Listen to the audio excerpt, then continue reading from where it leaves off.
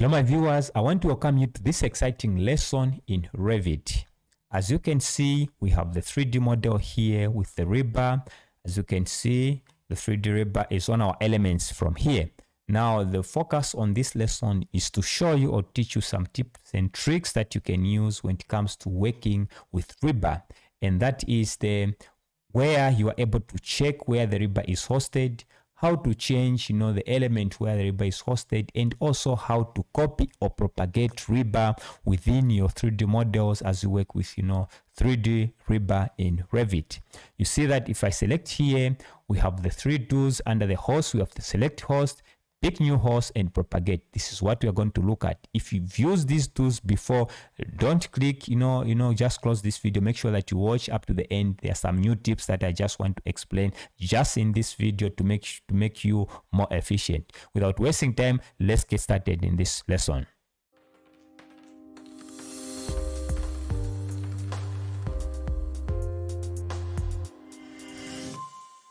So before I proceed, I just want to ask all of you, make sure that you like my videos and subscribe to my channel. And for anyone who would like to learn Revit architecture, Revit structure, and robot structure analysis in a course, check the links in the description. The courses are there. If you want, you can join me in a course where I've explained the usage of the software step by step on some real project.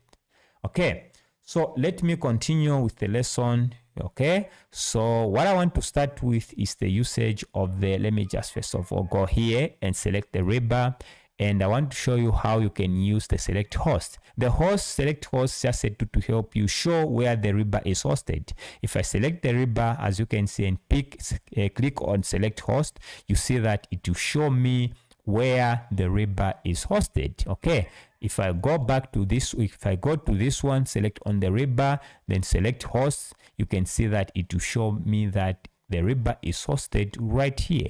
If i select the rebar which is protruding like on the upper column but it's a starter bar select on it select host it will show me that the rebar is hosted right there. So it's important to counter check where your rebar is hosted. You are going to see later on the importance of this.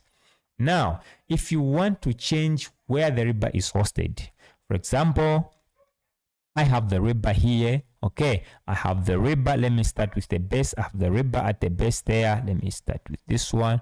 I have this one. If I click on pick new host, I can move, you know, the host for the rebar from this base to the other by just clicking on pick new host and pick the host there. You can see that Revit will complain because it's, it's outside where the the rebar is is is seated but the host is on the other end. So if i click on select host it will show that it's hosted here. Even if the rebar that i selected is this one. Let me select once again. Select host you see that it's showing here. If i want to bring it here just select on the rebar okay select on the rebar and pick new host and select that host.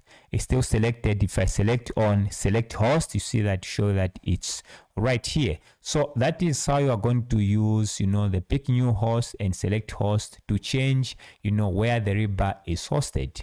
All right. Now the rebar i just want to change or before i do that let me just select some of the rebar just leave one and explain some more tips and tricks in revit. So i'll just go on top there and i just want to select the rebar from that point up to that point then hold the control button. I just want to select what is within the box.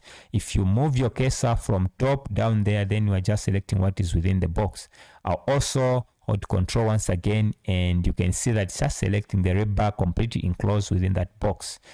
Okay then i'll hold shift and the wheel on my mouse. You can see that i just selected the rebar for the column and the base and i want to go to filter check none structural rebar apply okay and i want to just delete okay? So you've learned on how you can do the selection. Just cancel from there orbit like this. Now we are right here and the rebar i just want to change the host for the rebar for this one. I'll select on it and i'll click on pick new and I'll host it on the top column. There's something I want to explain. If I, if I pick select host, it will show that it's hosted above. So, but within the column there, the other rebar right here is hosted down. If I click on select host, it's showing that it's hosted here within the cell member. right now to copy the rebar in Revit 2023, we have the propagate feature. So it's just a matter of selecting there. It's just a matter of selecting there and let's see what will happen. Okay. Let's see what will happen if I just pick on propagate there and just click on that base you see that the rebar is copied i can select on that other base the rebar is copied and pick on that base this is how you're going to copy the rebar in Revit 2023. I'm sure even in the upcoming versions and just click on finish there. The rebar is selected. Now the importance or why this tool is very, very important is that it doesn't matter the size of the bases or any element. It could be any structural element as long as the, the, the you know you have done the proper modeling and the constraining, then it's going to adapt to the problem. You see that if I just select on this column, I just go to edit there and I change the size. Maybe let me duplicate. I just want to change this one. Okay, let me just add maybe number there, maybe six one. Okay, and I want to change this one to one meter. Then click on apply. Okay, the size has changed and you can see that the spacing is still the same as you can see from here. I can select on the rebar there and go there. It's 150, that is the spacing. If I check the other one, the bigger ones there, it's still 150. So I did proper constraining. As I've said, make sure that you check the video on constraining and, you know, 3D rebar modeling on my channel. I've explained on how to constrain the rebar. So it's very, very important. I just also wanted to point out that I'll just undo by holding Control Z and I'm back to the same size. So that is how you copy the rebar then you can see that I just copied the rebar at the base. If I want to copy the rebar on this one, so I can select on that column. Now remember, I placed the hosting is on different elements. So you see what is going to happen. You know, this is another trick that you have to bear in mind. Let me click on propagate rebar and I'm still on align by host. I'm not yet on the other one. I'll explain later on. If I click on that one there, you see that because the rebar some of the rebar is hosted up there the other one is hosted below there. You are just going to you know to copy the rebar which is hosted on that particular element. So it's important that you check the how you have you know you know you have not actually constraining but hosting the river. How you have hosted the river otherwise this is going to happen. And if such a thing happens don't panic. I'll not click on the green check mark. I'll just cancel and make sure that i host it right here. Let me just click on the river. Select host is right here. Let me select this river. Select host is above there. So i'll select on it. Click on pick new host and select that one at the bottom the column. Click on it then check to make sure that it's hosted right there that is okay. Then if i select the column there and click on propagate and the same one align by host is selected and now pick this one you can see that now this is perfect. And again the size doesn't matter. I can select similar elements no matter how different the size is. Oh let me just what did i do? Let me first finish click then select finish up with the other one propagate is selected there and i want to select uh this one here. What am i selecting? I think i'm selecting a wrong sorry for that. I'm selecting a wrong column. I'll just cancel. Simply orbit here to make sure that i select the column at the bottom there the stop column. So i'll select the column where the rebar is coming from.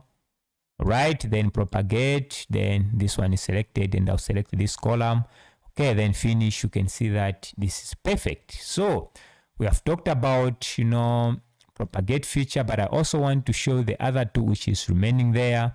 You see that we, if you want to copy the rebar up here i can select on this one then click on propagate align by host is selected and if i pick this one i can pick the rest and finish it to be copied. But sometimes you just want to select you know uh, some rebars within that host and not everything.